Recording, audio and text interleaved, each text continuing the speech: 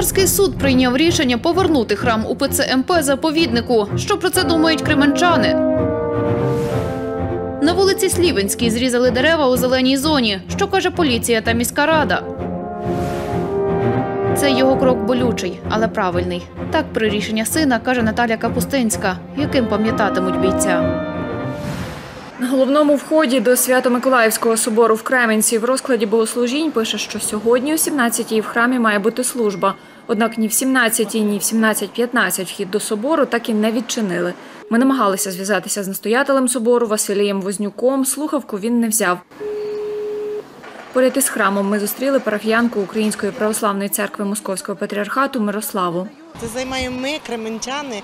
От мене тут хрестили, мене ну, я дітей своїх тут хрестила, і мені дуже боляче, що нам е, з нас хочуть забрати. От ми зараз йдемо на службу і нема світла. Вибачте, в туалет сходити ми не можемо, бо нам відключили воду. А чого нема світла? Ну бо закінчився договір, і вони тепер нам не продовжують договор. Нам, прихожанам, дуже боляче, і ми б дуже просили влади, щоб вона в нас не забирала. Подивіться, він доглянутий собор.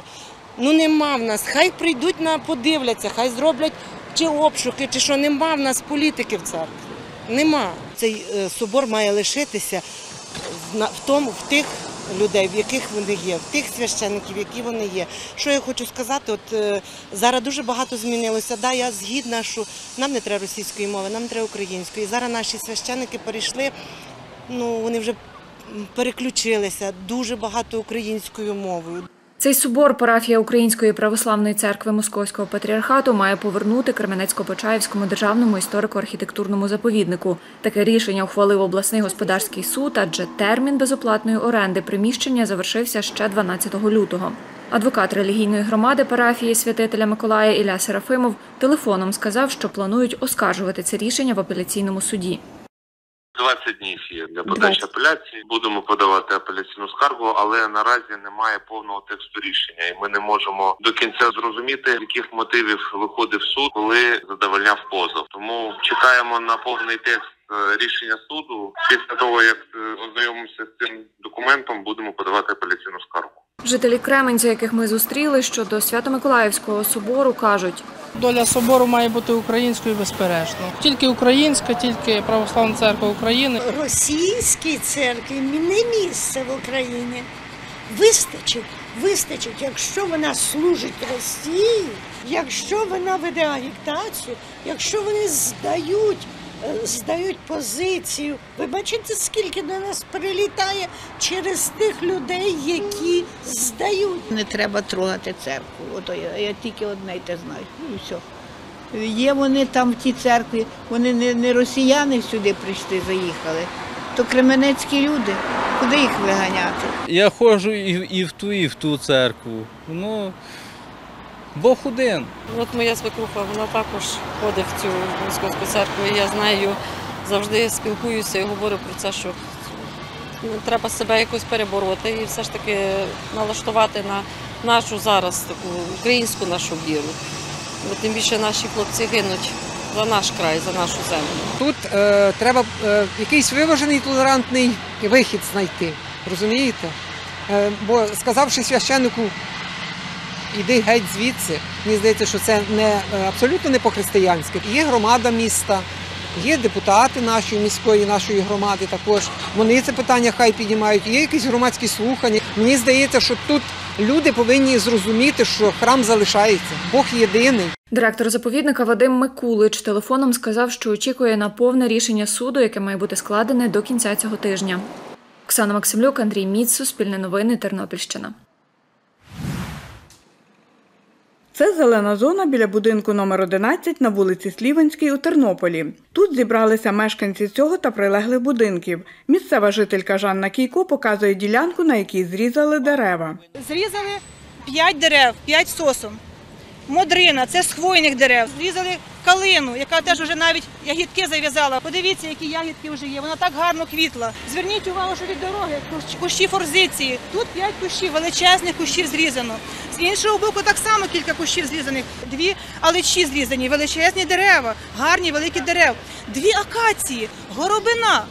Така, де- таке дерево, яке зараз дуже важко виростити. Іван Авдєєв мешкає у будинку, біля якого зрізали дерева. Чоловік розповідає, купували саджанці за гроші мешканців, самі їх садили та доглядали. Тут була гола земля. Ми е, вирішили засадити її е, зеленими е, рослинами. І от тут хто що міг, е, то і е, садили, поливали. Щоб зафіксувати факт знищення дерев та з'ясувати, хто це зробив, люди викликали правоохоронців. Мешканка будинку на вулиці Сліванській, 11 Ірина Маловічко розповіла. Я проходила, бо хотіла скоротити трошки шлях додому, до під'їзду, і побачила, що стежка е, завалена і пройти неможливо. І я почала, подивилася і дивлюся, все зрі- зрубано. Поліцейські взяли свідчення у мешканців та зафіксували факт знищення дерев та кущів. Буде заява е, зареєстрована, буде е, прийнято рішення об'єктивне, буде розписано на людину чи на людей, які будуть займатися, хто це зробив. Сім років тому сюди вже викликали поліцію через спробу зрізати дерева, каже Жанна Кійко. Випадково побачили з свого вікна, що готується зрізання оцього величезного дерева берези і того горіха. Вони вже обв'язали і готувалися зрізати ці дерева. Всі кущі вже були зрізані, це вже ми по-новому все посадили. Всі кущі лежали, отак от, отак от лежали. Ви знаєте, така сама, такий самий почерк. Ми дізналися випадково, що тут планується забудова. Відповідно, ми відразу піднялись, ми викликали поліцію. МЧС навіть виклик, Арбудконтроль. Ми звернулися в міську раду. Ми вимагали, щоб міська рада затвердила цю ділянку як зелену зону, якою і вона і була протягом багатьох десятиліть. І мер міста Сергій Віталійович Надал сказав, що він дослухається до мешканців, е, до мешканців мікрорайону. Ця ділянка буде захищена і буде створено сквер. За коментарем щодо зрізаних дерев на земельній ділянці біля будинку на вулиці Слівенській, 11, ми звернулися до міської ради. Тут ситуацію прокоментували так. За даною адресою, вулиця Слівінська, 11, на даній зоні, про яку говорять мешканці, жодних дозволів чи обстежень на вирізання зелених насаджень не надавалося управлінням житлово-комунального господарства. Управитель даного будинку, який е, ну так званий там е, хто відповідає за станцію, каже, що вони такі роботи не проводять.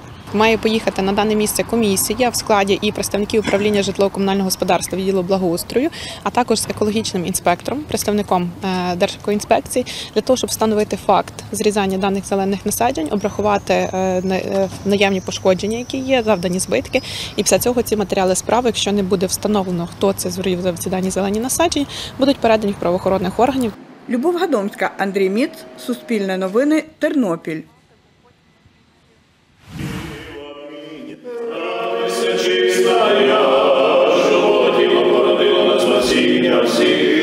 Домі печалі священники відправляють панахиду за загиблим у російсько-українській війні Дмитром Кочалабою.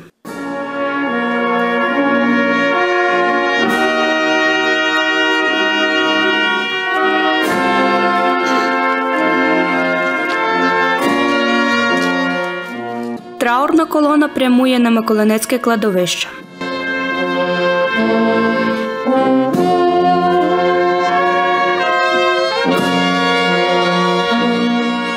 Майор Тернопільського об'єднаного міського територіального центру комплектування та соціальної підтримки Володимир Борущак розповів, як помер Дмитро. Ми зібралися тут, щоб віддати шану справжньому патріоту України, мужньому, рішучому воїну стрільцю 3-го стрілецького відділення, 1-го стрілецького взводу, 1-ї стрілецької роти військової частини А-7170 солдату Кочелабі Дмитру Ігоровичу. 20 червня 2023 року вірний військовій присязі під час проходження військової служби в населеному пункті Вінницькій Івани Харківської області помер. Дмитра Кочалабу ховають на алеї героїв Миколинецького кладовища. Попрощатися з бійцем прийшов його побратим Адік. Великий потенціал був пацана, і така трагедія його забрала. Любов Стахів знайома сім'ї Дмитра. Діма дуже був такий е, дружелюбний, відкритий, веселий по характеру, комунікабельний, такий, дуже такий балакучий. І як людина дуже добре серце мав. І нам просто серце розривається, що такі добрі люди йдуть. Але він віддав своє життя за нашу батьківщину. У Дмитра Кочелаби залишився син, дружина та мати. Сніжана Заверуха, Андрій Прокопів, Суспільне новини Тернопіль. Я житель села Плесківці, прийшов, хочу отримати консультацію юридичну. Так як є тут е, сьогодні медики, хочу ну, заодно і провіритися, так як в такому віці, що треба. Вже і то голова крутиться, то коліно болить. 66-річний Іван Собчак прийшов до місцевого клубу філії. Тут працюють бригади Тернопільського територіального центру та Червоного Хреста. До них звернулася і 76-річна Стефанія Шаліхевич. Я прийшла перевірити своє здоров'я, тому що до, до міста нам далеко, і я знаю, і там так само очереді, і все. А тут я думаю, що все скоріше буде, легше буде. Ми віддалені від того, а поїхати до міста не кожен зможе. Такі виїзні бригади у Тернопільській громаді працюють вперше. Вони безкоштовно надають юридичні та медичні консультації, також послуги перукаря, розповіла заступниця директора міського територіального центру Олеся Фелик. Директорка Тернопільського міського територіального центру Ірина Семенишин каже, з людьми також спілкується соціальний працівник. який збере усі потреби, які виникають в людей вже похилого віку, осіб з інвалідністю, з якими вони не можуть самостійно вирішити. Загалом планують відвідати 10 сіл Тернопільської громади, розповіла Ірина Семенишин. Анастасія Кисіль, Андрій Міц, Суспільне новини, Тернопільщина. Чекаємо на вас на вишкільних таборах від МНК. Людина гумору, витривалості та інтелекту. Так про Василя Капустинського згадують друзі з молодіжного націоналістичного конгресу. Сюди друг Яків прийшов у 2017 році. А це кадри з повстанського вертепу. З дійством члени МНК в 2020 році їздили у прифронтові міста на сході України. У вертепі замість Ірода – Сталін. Цю роль грав Василь Капустинський. Ми таким чином і висміюємо, і показуємо в негативному світлі і комуністичний режим, і пережитки радянської системи. Люльку, з якою Василь грав у вертепі, зберігають досі, каже Оксана Семенець. Йому вдалося передати цей акцент. Були навіть е, випадки, коли він е, додавав щось від себе, навіть коротенький віршик, але ми це згадуємо досі. Окрім діяльності в громадських організаціях, Василь реалізовував свої задуми під час роботи. В агрокомпанії координував проєкт Розумний город, де вчив дітей вирощувати овочі та лікарські трави. Займався городиною і вдома. Цьогоріч біля батьківської хати зійшов перший урожай полуниці, яку посадив Василь. Це перший урожай, який він засадив ще два роки назад. І він його, на жаль, не спробував. Тут зібрані речі мого сина Василя з дитинства. А Саме перша його кружечка, яку він пив і любив крутити вухо. Це було нам смішно і запам'яталось. Серед речей, які зберігають у пам'ять про сина, шкільні грамоти, медалі з різноманітних змагань, пластунські та менківські відзнаки, а також нагороди, які Василю Якову вручили вже посмертно. На війну Василь хотів піти ще на початку повномасштабного вторгнення, розповідає батько Григорій. Проте каже, зробити цього одразу не зміг, бо вчився в університеті і на той момент не підлягав мобілізації за віком. Згодом таки пішов до місцевого військомату і підписав контракт зі збройними силами України. Ми говорили, який ти може на факт, де б ти був саме корисніший. Він каже, батько, яка різниця, де воювати? Всюди потрібні люди, зважив всі свої можливості, де б він був найкорисніший, він попав в 95-ту десантно-штурмову бригаду. Вибору сина стати на захист держави не перечила й мати. Це йому може два роки, але він вже сидить прапорцем. І напевно, що любов та до України в нього була з дитинства. Він все поступав правильно.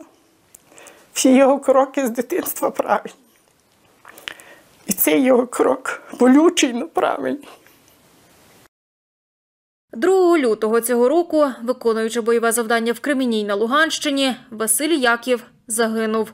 Наталя та Григорій майже щодня навідуються на могилу сина. У Білому потоці Василь Яків Капустинський – перший боєць, який віддав життя за незалежність України. Зазвичай діти беруть приклад зі своїх батьків, а я беру приклад зі свого сина. Богдана Савицька, Андрій Бодак, Суспільне новини, Тернопільщина.